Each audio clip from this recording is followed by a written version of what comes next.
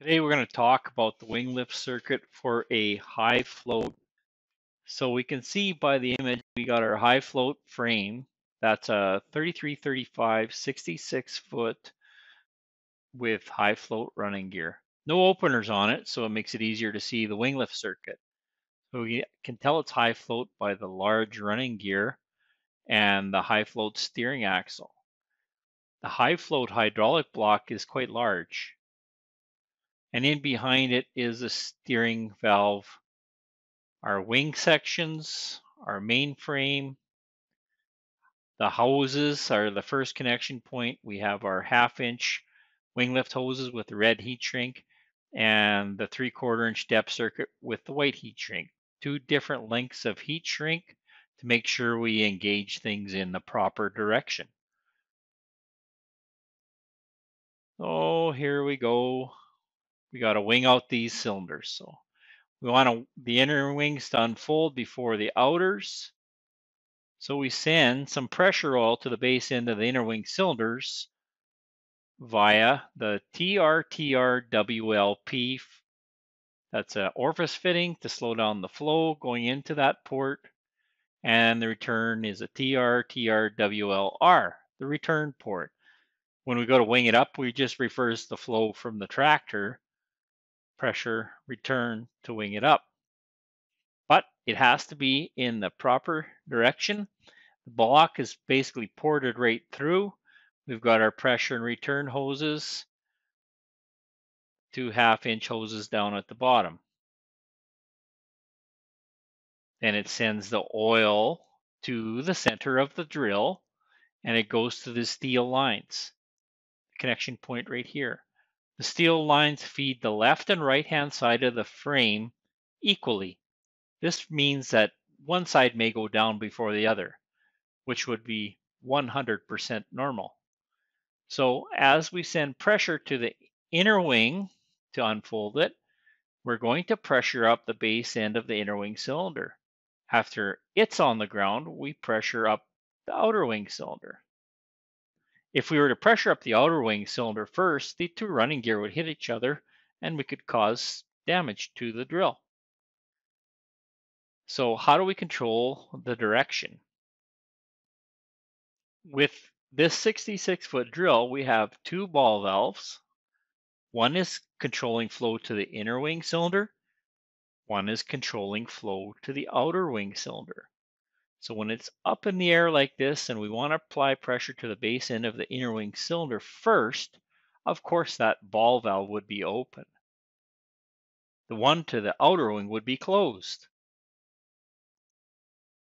So we're going to be open to the inner wing one.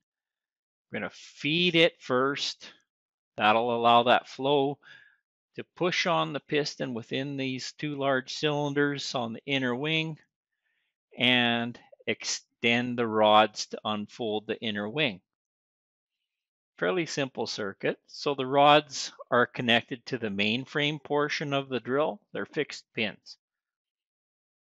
Now, as this wing, wing frame comes to the ground, these two ball valves change. So now our inner wing is closed, the flow to it, and the outer wing flow is open. But we have fixed pins on the main frame and on the base end of the inner wing cylinder on the inner wing frame.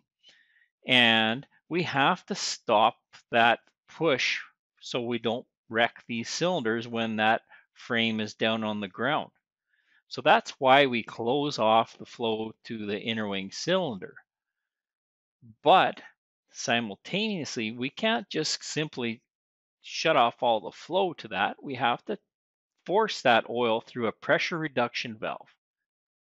There's a test port down on the bottom on the right side and on the top on the left side to test what the pressure is reduced to. It should be approximately 500 psi only on that cylinder so that it won't damage any components and try to pick up the mainframe with those two hydraulic cylinders. Mainframe very heavy, we're going to damage the cylinders. So now our outer wing has flow to it and it's allowed to continue unfolding.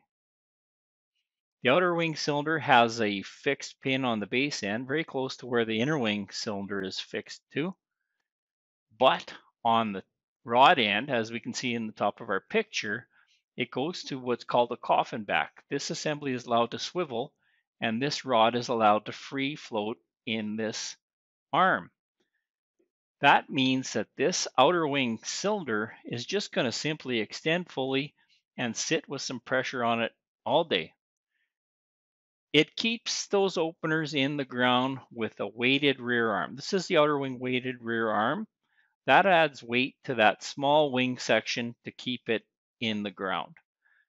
We want to keep all those openers with adequate trip and packing force, so the weighted arm does so quite effectively.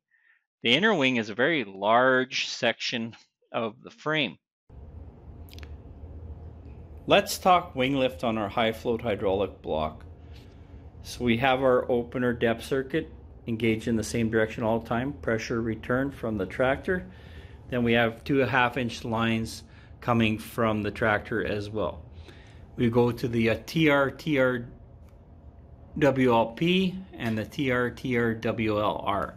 Pressure is the base end of the cylinders. So when it's up in the air, so the inner wings are up, the outer wings are up. The base end is the one that'll push the wings out. So the base end is connected to the inner wing and the rod end is connected to the main frame and that'll effectively push the opener or the frame sections out. And this is our return path. We want to reverse it and wing the drill up. We reverse the flow. So this is pressure, this is return and that just comes straight through the block. It's just ported straight through and goes to the WLP and the WLR down below it, two half inch lines going out to wing lift. P goes to base end to wing the drill out.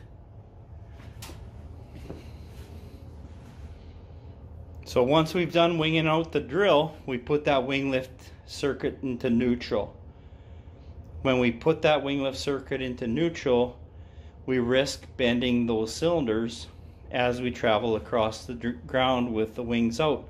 On the inner wing cylinders, they're fixed pins, rod and base end, and we can't pull the drill across obstacles with no path for the oil. You will effectively bend the cylinders. So how do we do so? From the pressure side of the opener circuit. So now our wings are out. We engage our opener circuit. The pressure side here opens up CKEB1 on this side and CKEB2 on this side. Two pilot operated check valves that are making a path for the wing lift oil over to the opener side for pressure and return. Very effective way to do so. And it makes sure that we can go across the ground without bending those wing lift cylinders. If you drive across the yard or even the field with the wings out and the depth circuit not engaged in the proper direction, you risk bending those wing lift cylinders, inner wing cylinders. So what we're looking at here is our sequencing valves for our, our wing lift system. So when we're winging out our drill, so we're coming from WLP, the WLP goes over to this port here, and then it sends the oil out to outer wing, inner wing. When the drill is up in the air, or the wings are up in the air, what is happening is the outer wing valve is closed and the inner wing valve is open. So that's ported directly through to the tractor and it's the same on the high float valve. So it's sending tractor pressure to the base end of the inner wing cylinders to unfold it. No oil to the outer wing. Hold it in place. So then when the inner wing gets to the ground, So when the inner wing gets to the ground, this shuttles over like this and it closes the inner wing ball valve and opens up the outer wing ball valve. So we're going to get full system pressure to the outer wing. As that outer wing ball valve gets to the ground, it extends that cylinder fully and then there's a slotted linkage that allows that wing to float up and down. But on the inner wing, we've closed off the flow here, but we don't want to keep adding hydraulic pressure to that. And we do have to have a path for the oil. So how do we do that? When this closes, it actually forces the oil through the pressure reduction valve. So our outer wing is fully extended, so it's deadheading. And then the oil that's coming here is forced through the pressure reduction valve. This pressure reducing valve is adjusted at roughly 500 psi. When it's cold oil, it may be a little bit higher, and then it sends the oil out to the inner wing cylinder. It's a fairly simple circuit. We have a check valve in here so that when we're raising their opener our wing lift up, it bypasses the pressure reduction and allows full system pressure to go to the rod end of the cylinders. No risk of bending cylinders when you're sucking them in. We have full system pressure and all the sequencing setup is bypassed. Because when the wing is down, we actually don't have any pressure or coming via here, but we get full system pressure coming the other way, allowing full flow out that way. So let's review what we have just learned. We're going to look at the drawing for the 3441-53 high float hydraulic block. It's the block only. The directional control spool will be mounted here, or on the drawing it would go down in here. We're going to zoom in to look at the left-hand side of this drawing, where the wing lift portion is. So oil comes in under the TRTRWLP, that's pressure oil. And then it makes its way and it feeds the base end of the inner wing cylinders under the WLP. So it comes out the valve on the WLP and then the return path is under the WLR and it goes back to tractor. So as we can see, it's a pretty straightforward design. The only challenge is when we put our circuit into neutral, so after we've unfolded our drill, we put that hydraulic remote in the tractor to neutral. That effectively traps that oil in that circuit. There's no path for the oil to go from base to rod end. So what can happen, as we've seen before, we have fixed pins on the rod end and base end of the inner wing cylinders on all of the drills up to the 86 foot drill. 86 foot, foot drill is unique. It has slotted connection points. We'll talk about that later.